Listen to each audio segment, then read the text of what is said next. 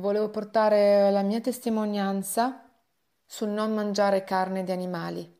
Io sono nata in una famiglia che mangiava molta carne, una famiglia che ha avuto molte infermità, molte malattie e io pure mi sono ammalata spesso e tutte le mie malattie poi col tempo, studiando poi la, l'alimentazione a livello scientifico, a livello anche storico e occupandomi poi di alimentazione sana come lavoro, ho scoperto delle verità che non ci sono mai state dette. E ho scoperto perché io mi ammalavo sempre, perché si accumulavano tossine, ormoni, antibiotici, ma anche eh, un'incompatibilità del nostro corpo a mangiare carne e pesce. Questo perché? Perché il nostro corpo non è stato creato per mangiare carne animale. Ci sono tantissimi studi scientifici sopra questo. Molti medici, molti biologi che hanno dichiarato questo gli hanno fatto perdere il lavoro o sono anche morti per questo, tra cui un dottore studioso Arnold Ehret, tedesco, che dopo che ha dichiarato le verità su come dovrebbero alimentarsi gli umani e non mangiare carne animale, è stato ucciso dopo un ciclo di conferenze. Quindi c'è qualcosa di molto importante che non vogliono le grandi potenze che governano che venga detto.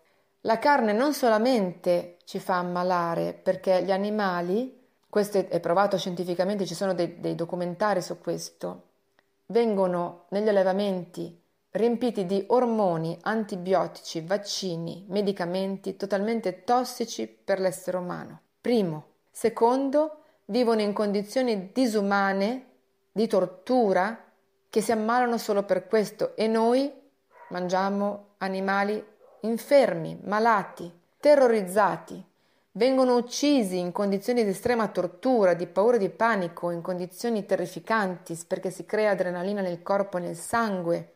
E noi geneticamente prendiamo queste memorie di paura, di ansia, di aggressività, di angoscia. E questo è stato provato a livello scientifico. Potete fare le ricerche, ci sono tanti documenti sopra questo. Quindi, e in più, la carne uccisa dopo due giorni si riempie di milioni di batteri, milioni di virus. Ma oltre a questi che già per questi motivi non dovremmo mangiare carne, sia dal fatto che Dio ha creato l'uomo e la donna vegani, fruttariani. Il nostro corpo, l'uomo, ha una natura frugivora e se si alimentasse solamente di frutta non avrebbe più infermità. Questo ci sono stati degli studi e persone che hanno perso la vita per questi studi. Io personalmente, da estremamente malata di tutto e di più, a causa dell'alimentazione, e che questo aveva influito molto anche sul mio stato di salute psichica, con depressione, aggressività, nervosismo, ho incontrato, grazie a Dio, un nutrizionista cristiano e un erborista cristiano che mi hanno parlato della creazione, di come Dio ha creato l'uomo e di come l'alimentazione originaria era di frutta e semi e niente più. Quindi ho fatto un cambio radicale, cambio radicale difficile perché siamo totalmente drogati da tutto questo, crisi di astinenza, crisi di guarigione fortissime, di depurazione di tutte le tossine dal corpo e bisogna avere tanta fede in Dio e tanta forza di volontà e tutto è cambiato nella mia vita. A livello fisico non ho più malattia, a livello mentale è cambiato totalmente il modo di pensare, più pace, più armonia, più amore più serenità, più connessione con lo Spirito, con Dio, con lo Spirito Santo.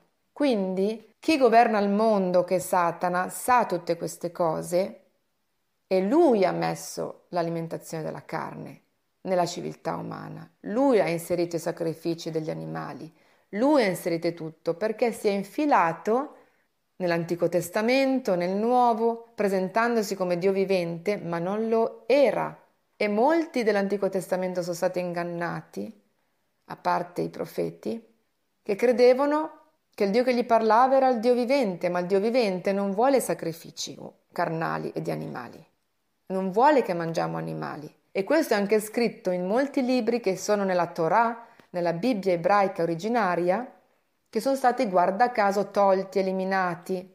Molti testi sono stati eliminati che parlavano di questo, che dovevamo non mangiare animali, come nel libro di Enoch, che si cita Enoch nella Bibbia, però gli scribi e chi governava a suo tempo nelle prime comunità cristiane, dopo anche Costantino l'imperatore, molti Vangeli sono stati bruciati oppure rilegati, nascosti e hanno tenuto buono solamente i quattro Vangeli che ritenevano che non potevano dire molte verità, che potevano dar fastidio. Quindi c'è tanto da scoprire. Se voi leggete la parola con lo Spirito Santo, c'è tanto da scoprire, la verità rende liberi, disse Gesù, che tante cose non hanno potuto toglierle, ma tante verità per poter ingannare l'uomo, per poterlo tenere a bassa frequenza, perché la carne abbassa la frequenza spirituale, ci tiene a, livelli veramente luciferini, e io lo posso testimoniare perché ho avuto un cambio spirituale, un cambio nel fisico, nella mente, nelle emozioni, nello spirito fortissimo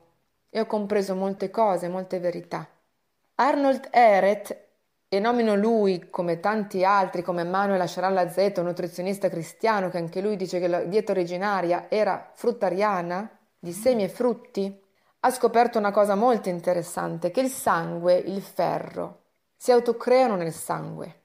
E dice che la sostanza cardinale standard per il sangue umano è la più alta forma sviluppata di idrato di carbonio, zucchero d'uva o di frutta, chimicamente denominato glucosio, come contenuto più o meno in tutta la frutta matura e nel suo stato immediatamente inferiore nelle verdure. Solo questa frase, dichiarata ufficialmente nei suoi libri, ed è per questo che l'hanno eliminato, il sangue si produce con la frutta, col glucosio della frutta, semplicemente.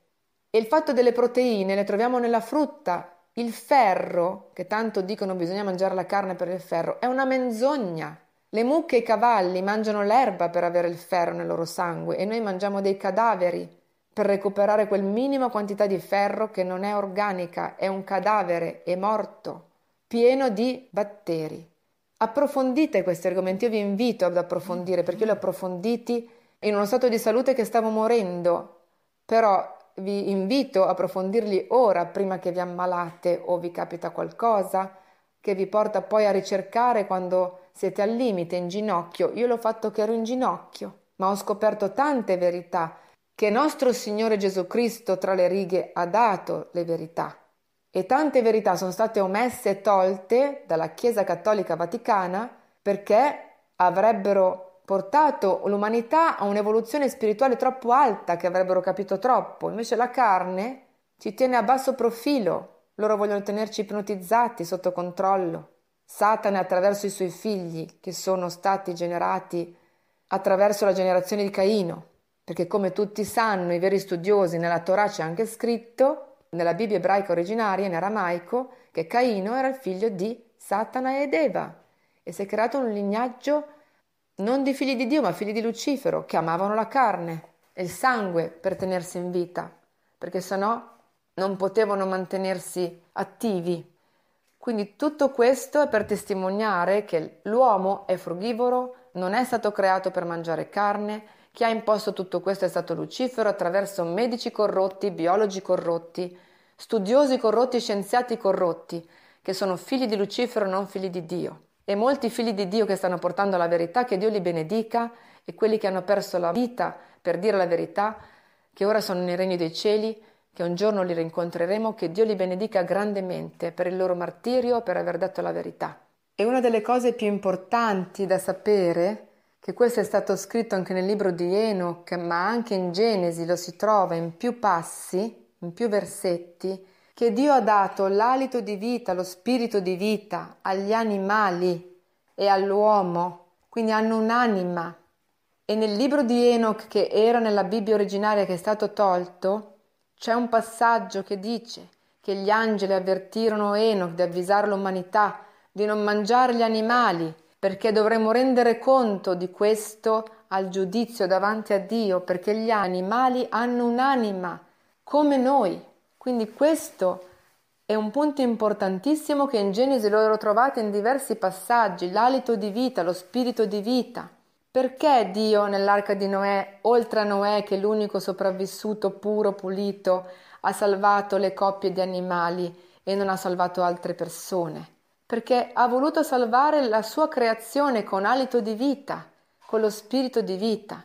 Gloria a te, Signore Gesù. Amen.